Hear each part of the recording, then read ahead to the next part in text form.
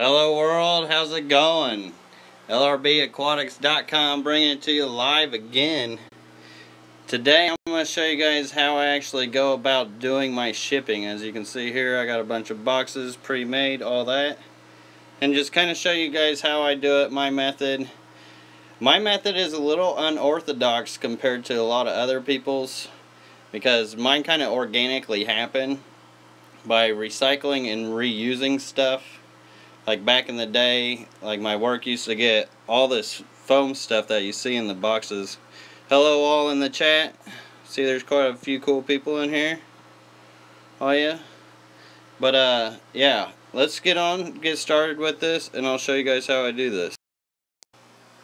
Now when I go catching my fish and shrimp, I use this, which this is just a bunch of deli cups. And I can get at least 12 different orders or batches. And then I just refill those up with uh, water again.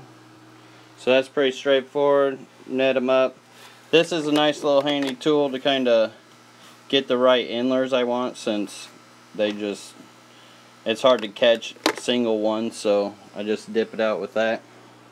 Here's all what I got going on here. Got some shrimp going on some fish going on and this is how I actually ship. So what this is let's break this down. This is a USPS priority box. This is the standard size I use the most.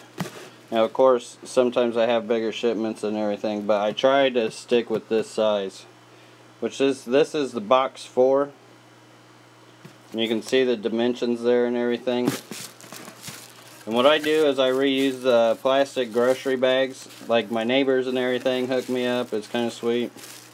Reuse all theirs.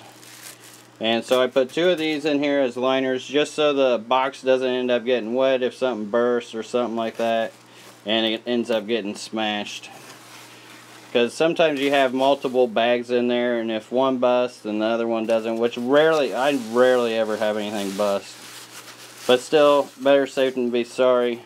And this is like foam insulation, like foam wrap insulation. It's only like an eighth inch thick.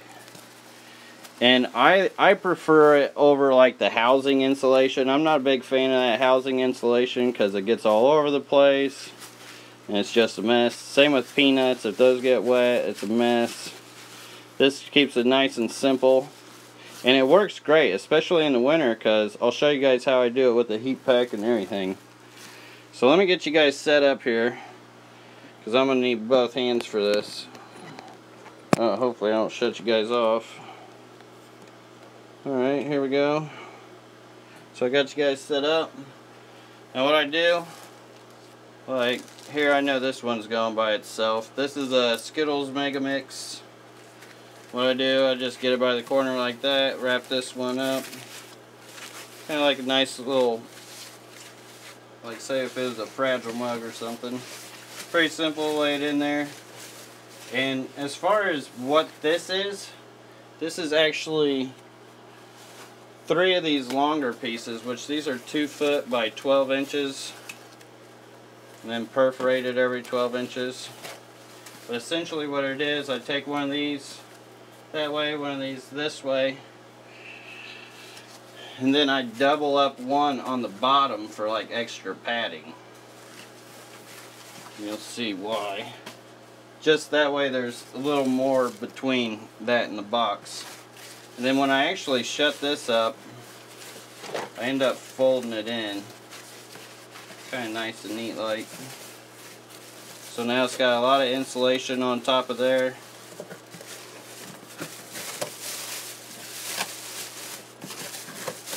Obviously right now I can't see your guys' chat.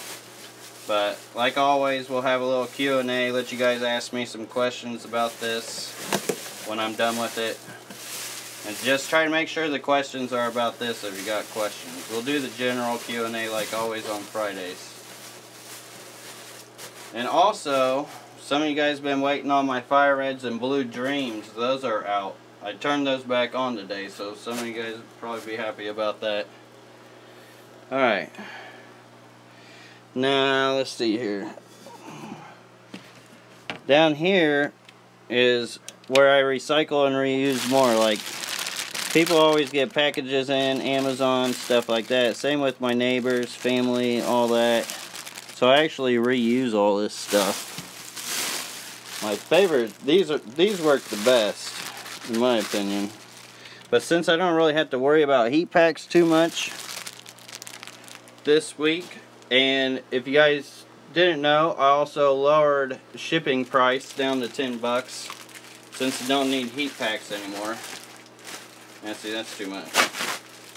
Which is nice for everybody. And then like that, got it filled. I mean, it's tight, but not too tight. And then I just tape it up. Let's see, I think I got an empty label here so I can show you guys. I'm getting ready to send all my shipments of the week out too. So you guys waiting on them. They're going out. But then I'd stick this here. I usually fold it over the edge.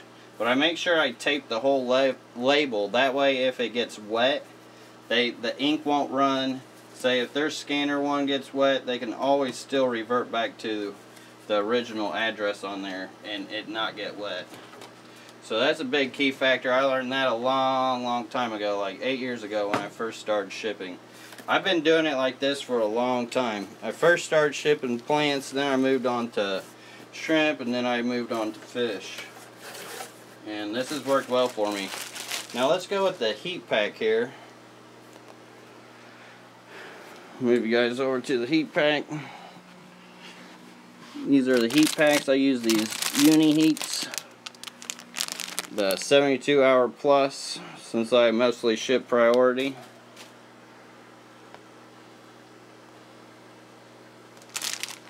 And this is pretty easy, pretty straightforward. Probably not even going to need to use this, but oh well. I've got plenty of them. Then you would just take the red stripe, make sure the red stripe's down. Then I would just stick it on top of that like that. And let's see, these ones that I prefer, like these aerospaces, they work great. So I could just put it in like that. I try not to cover this all the way. I like some air in here. That way this stays warm. And what it does is it essentially heats all the foam up and everything. And it stays, it, it works really well. Alright. So that's how I actually box them and ship them. As far as breather, but I use the breather bags, which you don't want to leave air in there. And another thing too, when you guys get breather bags, some of you guys may not know this, but you don't want to float these breather bags. Don't want to float them. Alright, so let's move over, let's do some Q&A. So if you guys got questions now, now's the time. Now's the time to ask your questions if you guys have them. Let me flip you guys over. Chat, would there be more cost-effective people to ship with than USPS? No. UPS, um, the reason why I used USPS is because they actually have heated warehouses and facilities. Like everything's air conditioned. So that's why I don't use them. And UPS is more expensive and they don't have heated trucks and stuff. Will these orders be arriving on Friday or Saturday? They will more likely be at landing on Saturday. I learned a little trick too. Is if you ship now if you ship early Thursday morning like before it opens they'll like be three day or something like that. But if you do it like right after they open on Thursdays, for some reason the system tries to push them all onto two day. Like all the time every time I do that, they push it to like two day and usually lands on Saturday. Which is part of the reason why I've kind of been lagging behind on my shipments. Is because if I can hit that two day mark, it's just best for everything. Which I've actually had shrimp, 50 cherry shrimp one time, live in the mail for over five weeks before. Which is pretty crazy. I think that was in the fall time though. Like during the winter, it's a little riskier because they can spend time in a truck or on a plane. And let's see, as far as fish, let's see, the longest I had a fish live was a month in a bag in a box. It was an ornate rainbow fish. Um, let's see, who was that guy? Some guy in California. He's a Facebook friend. Can't think of his name off the bat here. But alright, anybody got any last questions? Why shouldn't you float the breather bag from aquatics? Uh, because the exchange of the oxygen. If you float the bag, the fish can't breathe in the bag, so you can actually suffocate the fish and shrimp. That's why you can't float it, because there's no oxygen exchange. That's how those breather bag works. Somehow the oxygen and can go through the bag. It's pretty wild off topic, but one of my CSR has a brown belly all of a sudden. Do you think that's from food or some other issues, says Bookshelf Aquatics? A brown belly, maybe eggs. That's the only thing I can think of.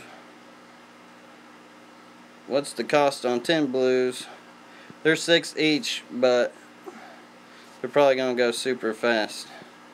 Alright, any last questions? If not, I'm going to hop off here because I got to get back to these orders. I got a bunch of boxing to do.